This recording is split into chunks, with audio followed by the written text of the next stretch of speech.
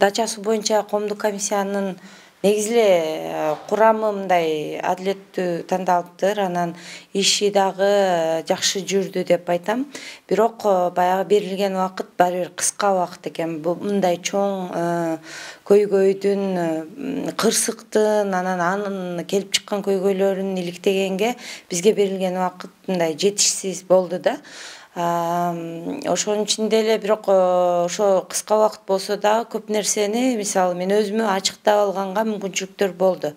Мисалы ошол эле баягы каражаттардын бөлүштүрүлүшү боюнча негизи адилеттүү эле бөлүштүрүлүптүр. Ал э, биз ошол жерде кандай бөлүштүрүлгөн деп шектенүү менен карап баштаганыбызда ошол жерде баягы компенсация алган үй бүлөлөрдүн мүчөлөрү келип э, тескерисинче бизге мындай капа болуп биз өзүбүз каалагандай бөлүштүргөнбүз силер ошондо каякта элеңер э, биз бияктан нааразы болбой эле турабыз го деген мындай нааразычылыктарын дагы айтышты да. Алар чындыгында жакшы эле жардам алышкан экен. Анан ошол жардамдарын э, ачыктаганга башынан эле каршы болушуптур дагы. Э, бизди дагы ошондой талап коюшту элге суммаларын айтпагыла ким канча алганын айтпагыла депчи бирок ошондо деле биз аты жөндөрүн көрсөтпөй ошо канчадан жардам алгандарын материалдарды ачыктап бердик да.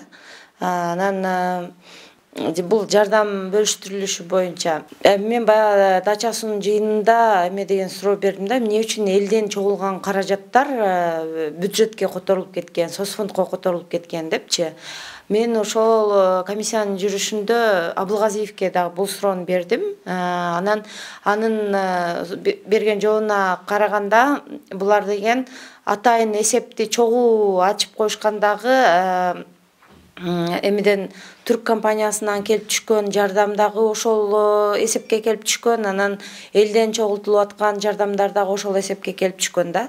Анан биз баягы ал эсептен чыккан акчаларды караганыбызда чындыгында эле баягы соц фондко бюджетке которулган акчаларды көрүп суроо ошондон болчу анан абылгазиев ошол түрк компаниясынан келип түшкөн акчадан бюджетке алганбыз деп жооп берди. Анан мен анын жообуна дагы ынанып калдым да.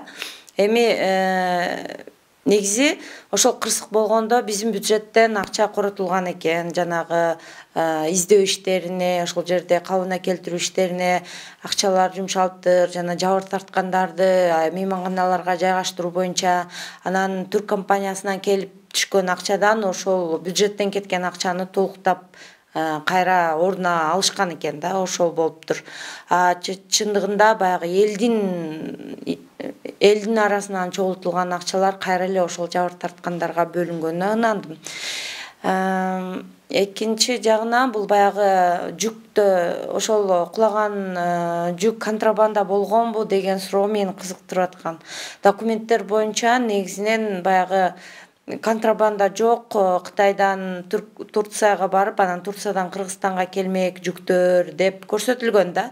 Анан бирок муну биз баягы толук текшергенге мүмкүнчүлүгүбүз болгон жок анткени ошол кезде аэропорттун э, видео э, камераларындагы записьтер бир жума эле ушундай кыска эле убакытта сакталат деп коюшту да. Анан калган записьтерди алганга мүмкүн болгон жок.